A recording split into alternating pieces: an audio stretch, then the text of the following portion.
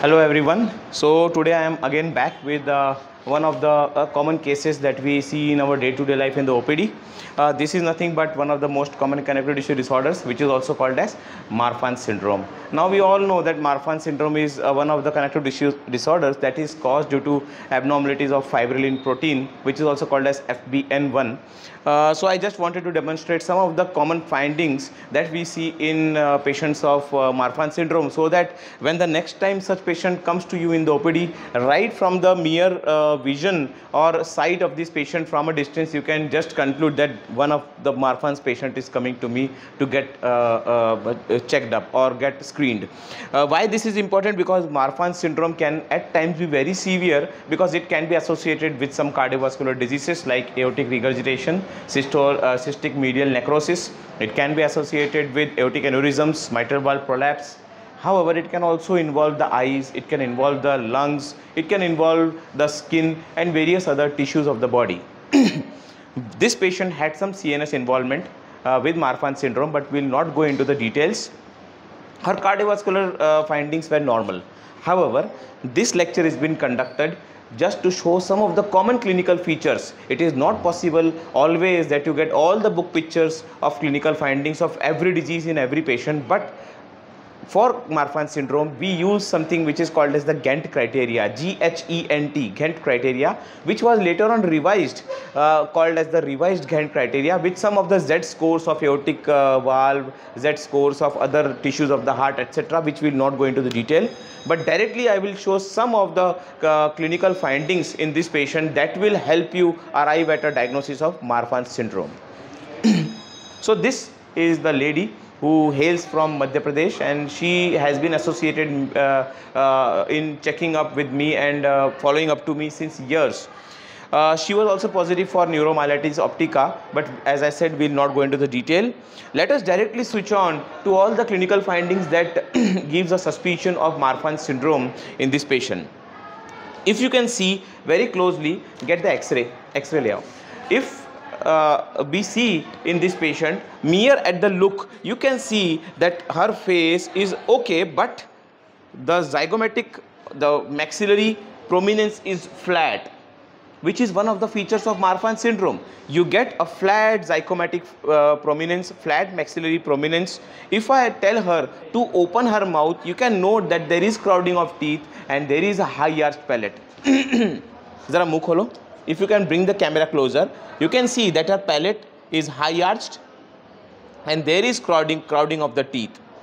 However, if we pay attention to her skeletal system like the chest, I cannot expose more but see there is a prominence of the bone, the sternum with prominence of the sternoclavicular joint which is peculiar of pectus carinatum which can be seen in cases of Marfan syndrome.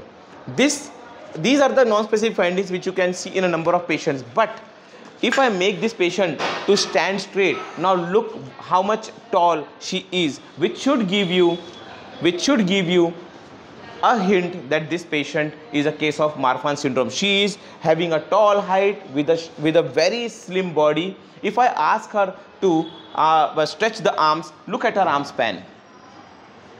Her arm span is too much. To be precise, I have these records. Her arm span is 193 centimeter which is from the tip of the middle finger of the right hand to the tip of the middle finger of the left hand. This is her arm span which is 193 centimeter. And I took her height which is 181 centimeters. And the ratio of the upper segment that is from the head to the pubic symphysis upper segment to the pubic symphysis to the floor is upper segment to lower segment ratio which is around 0.82 it falls in the positive criteria because the Ghent criteria says the if the upper segment lower segment ratio is less than 0.86 it is Marfan it is one of the positive criteria for Marfan syndrome. Her upper segment lower segment is less than 0.86 because it is 0.82 however if we if we take a ratio of the arm span which was 193 centimeter to the height which is 181 centimeter the ratio is 1.06 which is again a positive criteria according to Ghent criteria which says that the ratio of the arm span to the height should be more than 1.05 her ratio is 1.06 so it is again positive. Excuse me. Now if we jump to some of the uh, maneuvers that we see uh, uh, in Marfan syndrome, particularly the Walker sign, the St uh, St uh, Steenberg sign, etc. They are also positive. The Marfan's wrist sign is also called as the Walker sign, and the Marfan's thumb sign is also called as the Steenberg sign. So let us see what are these.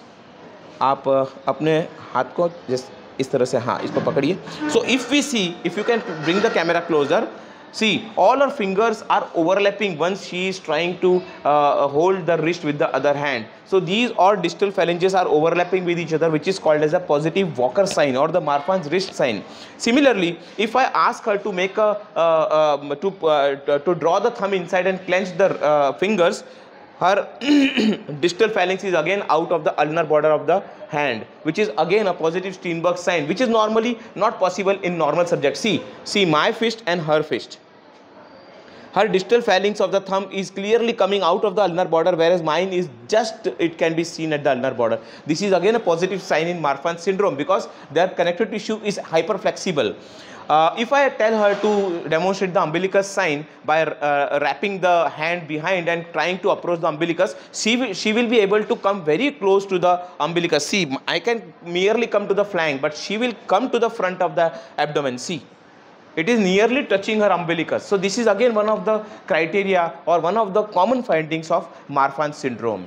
On the other hand, if I just try to show you her legs, it, they are again slender, thin and uh, very uh, uh, fragile to look. Uh, सिर्फ घुटने तक थोड़ा pant को ऊपर करो. See, watch her shin. It is tall, lengthy, thin and very slender. You can see her fingers and hand. See, very thin spider-like fingers. excuse me see my hands and see hers there is some association or involvement of the interphalangeal joints too which is very common in Marfan syndrome so this is how Marfan syndrome patient looks like. Next time such patient comes to you, you should not be uh, missing such clinical findings because these are very common. One more thing, uh, in the criteria is the scoliosis of patients of Marfan syndrome. So this is her thoracic and lumbar spine. You can easily see this scoliosis of the spine to the left she also has a scoliosis of the dorsolumbar spine which is again one of the uh, criteria in Marfan syndrome. So on and all uh, she also had some stria on the shoulder and abdomen which I may not be able to show you but they are again included in the, in the clinical findings of Marfan syndrome. So this is a clear cut case of Marfan syndrome who is having neuromyelitis optica and she is regularly following up to me from Madhya Pradesh. And uh, uh it is so kind of her that she has given us permission to show the clinical features to the young doctors who will uh, definitely uh, will be treating patients in the future. And it is because of such patients that we get to learn so much and try to deliver more precise treatment to the future patients. So I thank everyone and thank the patient in particular for cooperating so much. And I hope this lecture would be uh, useful to every doctor who sees this and we will be able to detect more of these connective tissue disorders in the coming future. Thank you so much.